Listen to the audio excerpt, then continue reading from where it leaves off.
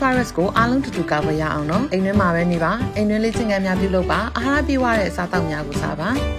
နေ့စဉ်တောက်ပါအာဟာရပြည့်ဝမှာ Vito မန္တလေးအောင်မြေတာဆန်မြို့နယ်ကအသက်80ကျော်အရွယ်ကိုဗစ်လူနာအမျိုးသားတအူထပ်မံသေဆုံးခဲ့ပါတယ်။အောင်မြေတာဆန်မြို့နယ်မှာနေထိုင်တဲ့အသက်86နှစ်အရွယ်အမျိုးသားကြီးဟာဖျားနာပြီးနောက်မန္တလေးစေယုံကြီးကိုအော်တိုဘာလ3ရက်ည7:00နာရီမှာရောက်ရှိလာပြီး နိုင်ပိုင်းအကြာမှာသေဆုံးသွားခဲ့တာဖြစ်တယ်လို့မန္တလေးစေယုံအုပ်ကြီးဒေါက်တာစုစုတွေးကပြောပါတယ်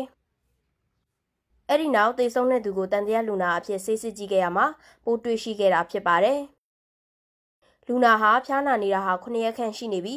စေယုံကိုရောက်ရှိလာချိန်မှာတော့အတော်ပြင်းထန်နေပြီလို့စေယုံအုပ်ကြီးကပြောပါတယ်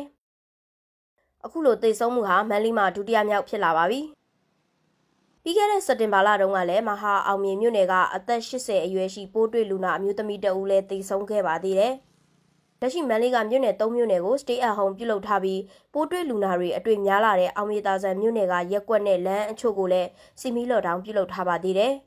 ။မန္တလေးခရိုင်တွင်းမှာပိုးတွေ့လူနာ102ဦးကတော့ဆေးရုံတက်ကုသလျက်ရှိနေပါတယ်။